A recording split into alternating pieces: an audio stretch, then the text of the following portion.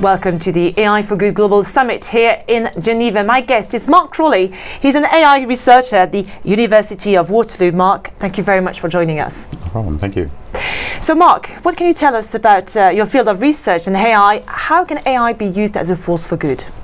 Um, well, I think AI is almost um, only can be used for good. There's so many uh, potentials it can be used for. Um, the the sustainability goals that the UNIS set forward are so this very challenging framework of, of um, indicators and, and goals for the world.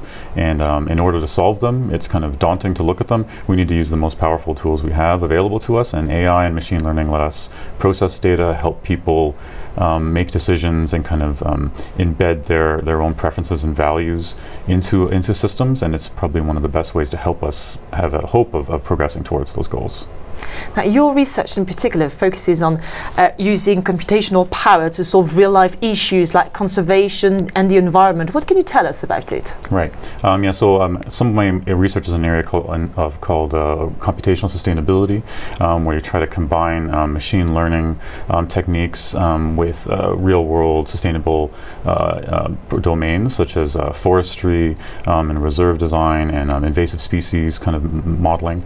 so some of my research um, using reinforcement learning on trying to planning in, in, forestries and predicting forest fires is kind of one of the ways I'm doing that. Um, but there's many researchers trying to connect these tools with um, these real life uh, problems, um, which is interesting because they, they usually have noise and challenges in them that our own kind of academic tools that we come up with don't necessarily have. So it, it pushes us to, to improve the algorithms as well as um, helping something in the world. How important is it for an academic like you to be mm-hmm. at a summit like the AI for Good Global Summit and to meet other stakeholders?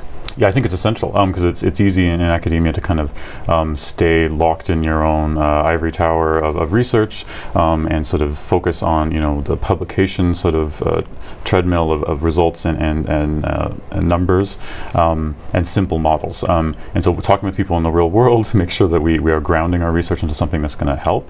Um, but it also helps you realize how people see, especially for AI, how people see AI in society and what they're planning for and how they plan to use it.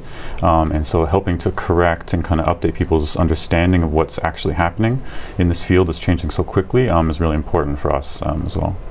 And you also work closely with uh, one of the co-organizers, X Prize. What's your role exactly? You're, you're a judge, right? I'm a judge for the uh, okay. IBM, IBM AI X Prize. Um, uh, and uh, yeah, so there's, there's 30 judges, and we're looking at um, all the proposals um, people have put in these amazing projects, people around the world trying to use AI in some way to improve the world in their own community or country.